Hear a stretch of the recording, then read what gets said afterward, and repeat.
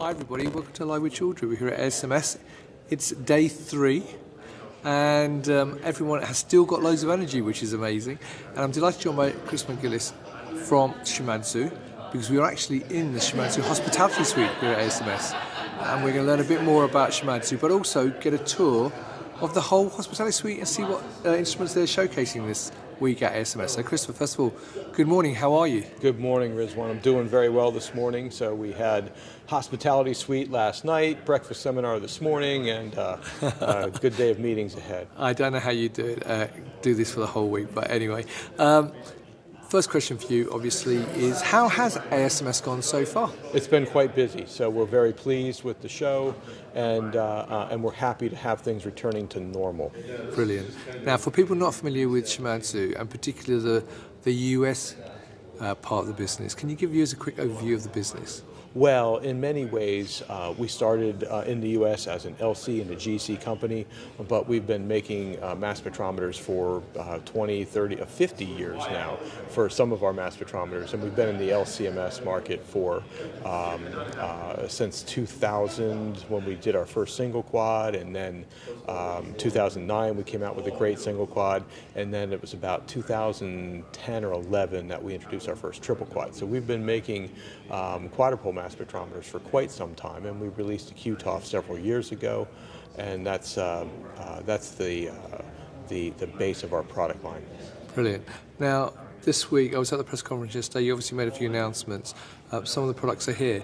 So. Um, why don't you just give me a tour of the booth and maybe we'll highlight some of the announcements as we go along? That's great. Let's walk around. We'll start over here. Sure. So this is our multiplexing system here. So we've got a we've got a, a high-end triple quad, and um, uh, basically a, uh, a, very elaborate HPLC. Right. So uh, in the in the high throughput market, the um, the, the consideration is that we spend so much money on the mass spectrometer that we need to keep it working all the time. Yep. And if you're only getting one peak every few minutes, that's not efficient. So, uh, so customers are willing to essentially put together two or even four HPLCs in front of a single quadru- uh, triple quadrupole mass spectrometer just to keep it working all the time. And that's what this system is here. So there's a, there's a lot of great features about this system. We, we wrote software specifically to drive this because you can imagine that uh, um, uh, running a system that complex uh, requires a high level operator and so what we wanted to do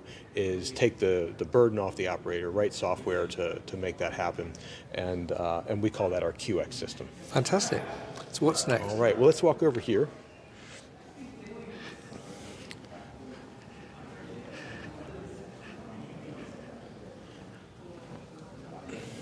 So next would be our uh, iMScope. Right. Now, what this is, um, I guess it's a little out of order here um, because I haven't introduced the QTOF, but the QTOF is back here. Yep. And what we've done is we've, instead of the traditional ESI source, we've, uh, we've built a MALDI source yep. with a, a five micron resolution laser and an optical microscope in here so that so that you can actually see where that laser is hitting for uh, uh, for imaging analysis. So the customer would um, would would take their tissue slice, put it in here, and then use that five micron laser to uh, to hit exactly uh, where they want to on the tissue, and then using the optical microscope, uh, you can get uh, uh, very very precise co-registration so that you get a very very good image uh, from the from the MALDI and the accurate mass instrument. Right. Okay. All right, next we're going to go over here.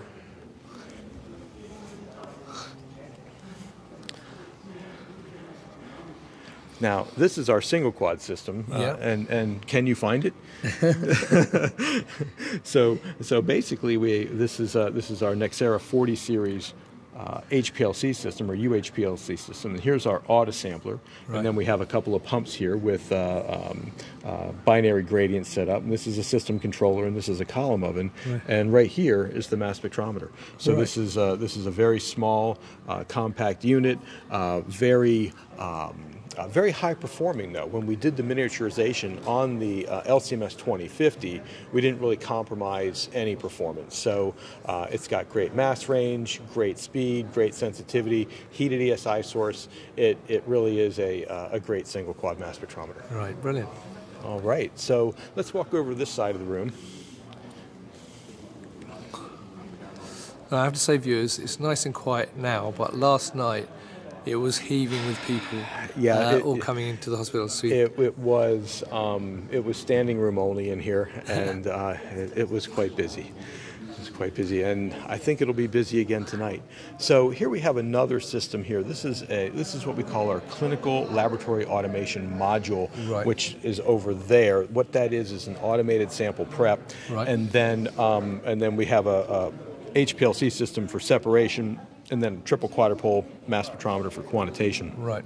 So what this is is a uh, is an automated sample prep device. Has a carousel with about 60 positions to hold different uh, tubes or vials, and then uh, the unit will uh, will uh, uh, take some of the sample as an aliquot, then dispense reagents, and then do uh, various sample prep um, activities like um, like uh, mixing or heating or filtration, and then it will deliver that to the HPLC system for separation and then quantitation on the quadrupole. Right. All right. Fantastic. Very good. Now over here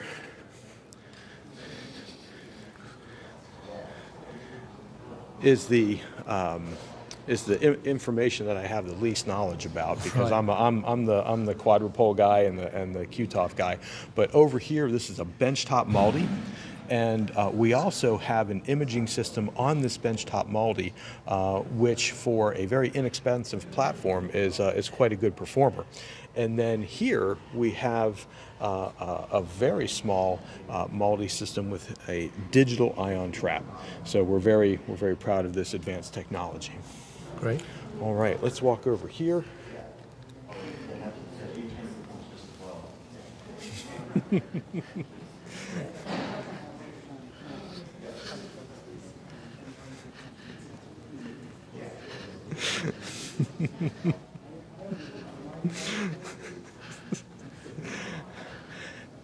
Here is the QTOF. So Right. in the in the other uh, QTOF that we were looking at, we had we had covered the QTOF with an imaging mass microscope. But here you can see the the uh, regular ESI source, and um, uh, this functions as a uh, accurate mass instrument, Right. which will do um, uh, screening or it will do uh, compound identification. Uh, you can also do quantitation on this instrument. Now, what's special this year about this particular Yep. uh, system is that we've added another um, collision device. Right. So uh, this is what we call the oxygen attachment dissociation MSMS. So normal MSMS is done with a with collision-induced dissociation. So we have Q1 collision cell with argon in the cell, and uh, as the ions travel through the collision cell, you get collision-induced dissociation. Right. The fragmentation patterns are specific, generally the weaker bonds in the molecule.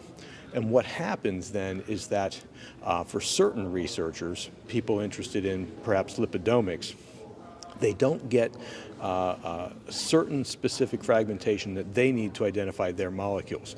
So this is an alternate means of fragmentation here.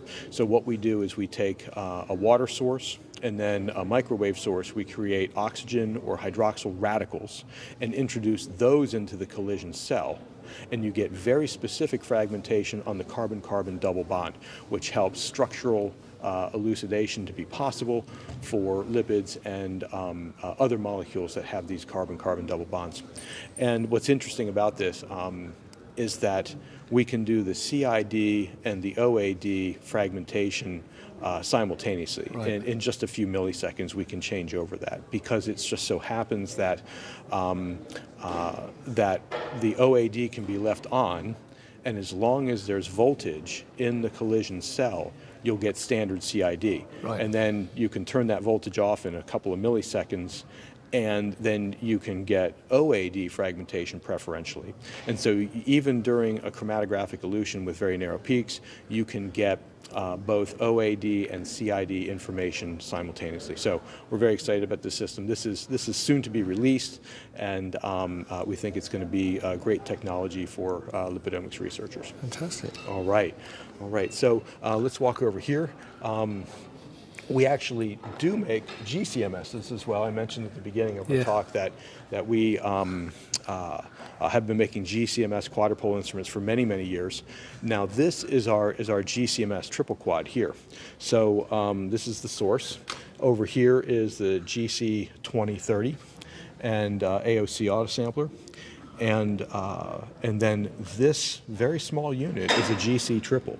So you've got your, um, you got your ionization source here, you've got some lenses right here, and then Q1, collision cell, and then Q3. Right. So all of that is, uh, is self-contained as a, as a GC triple quad. Right. All right.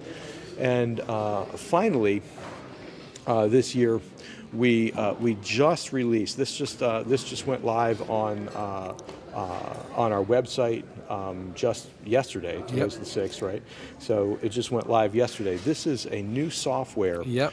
For uh, uh, for characterization of oligonucleotides. So. Uh, manufacturers of oligonucleotides, one of their challenges is that during the manufacturing process, you can have a lot of, uh, of impurities. And so uh, they want to, first of all, make sure that they've made the full length product appropriately. That's a fairly easy chore because you've got good intensity and good signal. But then there are uh, a lot of different impurities that could happen on each base of the oligonucleotide. Uh, or the oligonucleotide, maybe it's supposed to be a 20 mer, maybe it only came out to be a 19 mer or an 18 mer. And so uh, this software, um, the user uh, feeds in the oligonucleotide sequence, and then um, uh, the software will uh, create a, a, a dictionary of, uh, of um, common modifications. Right. The, uh, the user will then acquire an accurate mass chromatogram using the QTOF and, uh, and then take that information, that's not only MS information, but MS MS information. Uh, they'll take that data file and then calculate the results of that data file against this dictionary that's been built, and the user will be able to very quickly find out which uh, impurities are present and even what the ratio of the impurity is to the full-length product that they intended to create. So it's a very helpful software platform. Reporting is great. The user can visualize their structures. Um, of course, you've got to have the, um, the deconvolution capabilities in there, and so all that uh, uh, is very, very um, amenable to the user and very, very quick um, and very easy to use. Brilliant. Well, Yeah. I, I think that's the last um, station, isn't it? It is, it is. Fantastic. So, well, thank you for giving me that whirlwind tour Yeah, of uh, the solutions that Shimadzu are offering this week at ASMS. One question I will ask you, though, and maybe it's a tricky question, but obviously uh, there's a lot of big instrument companies here this week, Mm-hmm. all launching products. But to a viewer watching now, one question I'll ask you from a viewer's perspective is, why should someone work with Shimadzu rather than some of the other providers? Well, uh, you know, we have a great pedigree in terms of instrumentation and engineering, but what sets Shimadzu apart is our is our partnership and our support. We're, we're, we're not interested in um, uh, in just pushing one box after another because we understand that um, if you buy an instrument from us and, and you're not successful, you'll never come back as a customer. Sure. And so it's all customer relationship, customer support, and um, uh, and it has to be that way.